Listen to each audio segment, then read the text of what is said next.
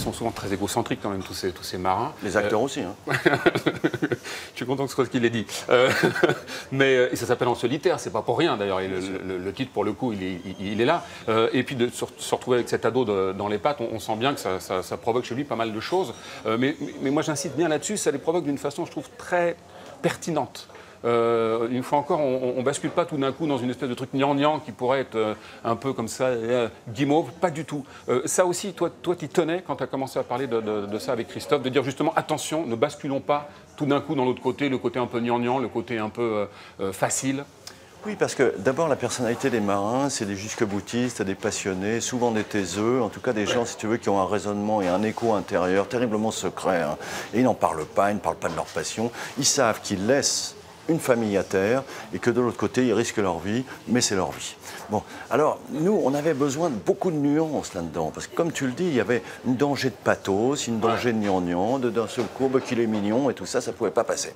Donc il y a en permanence le fait tu ne touches pas au bateau, c'est moi qui m'en occupe. Ça, c'est presque de l'ordre de l'éthique. C'est-à-dire, il n'est pas question que tu même que tu ramasses un bout. Et de l'autre côté, cette évolution assez délicate de tiens, viens voir, T'as déjà vu ça? Et c'est encore un peu rocailleux, encore un peu rugueux. T'as déjà vu ça Un iceberg? Regarde, tu vois, c'est comme ça. Puis le monde qui l'appelle. Hé, hey, hé, il y a une baleine là-bas. Ah, oui, bon, alors écoute, ce genre de bestiole, il faut mieux en être loin. Et on l'a vérifié sur le tournage plutôt que d'être prêt, parce que vu le raz-de-marée que ça te colle à 5 mètres, il faut mieux éviter.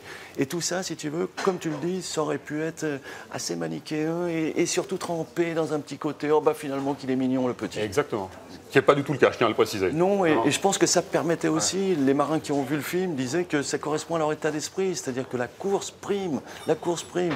Moi j'ai toujours voulu être un acteur célèbre. Si quelqu'un était venu m'expliquer, oh mais c'est mieux de faire du jardinage, j'envoyais chier directement. Quand on parle d'égoïsme, quand tu as un rêve d'enfants comme ça. Mais ce n'est que de l'égocentrisme, que de l'égoïsme, jusqu'au moment où tu as un peu de reconnaissance ou du succès, ce qui est venu tard pour moi, où d'un seul coup je lâche un peu et je me dis, bon, bah, profitons de l'affaire.